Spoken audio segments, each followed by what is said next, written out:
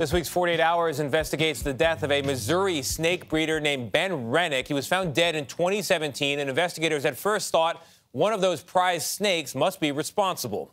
But they soon discovered his death was no accident. 48 Hours correspondent Peter Van Sant has the story. On a hot Missouri summer day in June 2017, Montgomery County Coroner Dave Colbert was called to one of the most unique death scenes of his 20 year career. Someone being killed by a snake is not something that happens every day. A literal snake pit, a building with more than 3,000 exotic serpents, being nervously patrolled by a team of armed sheriff's deputies. Well, make sure there's no snakes around the victim. Yeah. Who aren't sure if one of these snakes may have killed renowned breeder Ben Renick. Who is? Ben, that's Ben Renick. Oh. But while examining Ben's body, the coroner made a surprising discovery. Ben's body, lying face down, hid the true cause of death.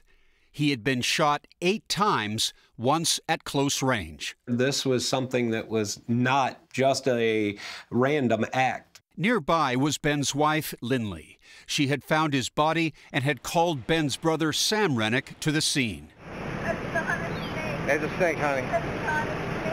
There's not a soul in the world that would have wanted to hurt Ben. We couldn't have imagined anything like that.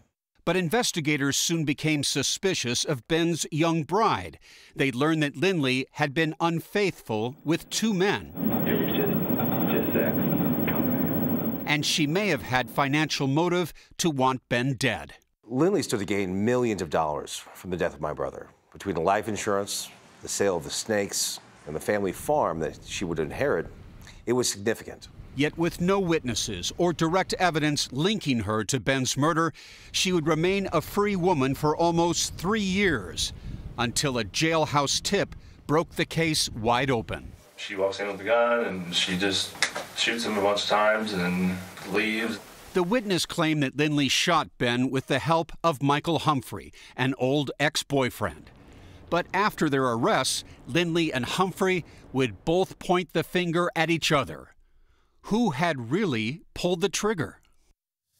It's a good question. Peter Van Sant joins us now. Peter, what else did this jailhouse witness say or provide as evidence? Well, this witness was another one of her ex boyfriends, and he said that Lindley told him that she had tried to poison her husband, Ben, by making a protein shake laced with narcotics. When that didn't work, she went to Plan B. Now, Lindley says none of that is true. I actually brought this fellow into that snake pit because I was going to tell my husband that I wanted a divorce. I was worried he might lash out at me, and I wanted the protection, and that this man suddenly shoots her husband. Mm.